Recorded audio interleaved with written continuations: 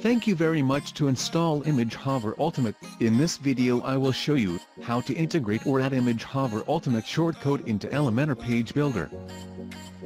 At first I need to create Image Hover shortcode from Elements library and confirm design or customization.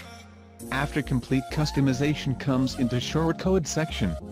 Copy shortcode. This shortcode can show image hover into Elementor Page Builder.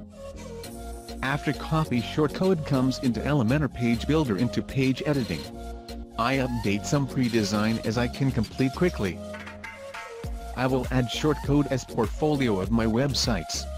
So select shortcode elements from elements section and paste your shortcode into text box. After saved shortcode it's viewing but not properly as CSS or JS not loading with inline page editing.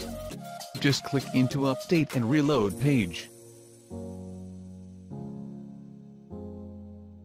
Image Hover Ultimate shortcode are ready to view into your Elementor page builder.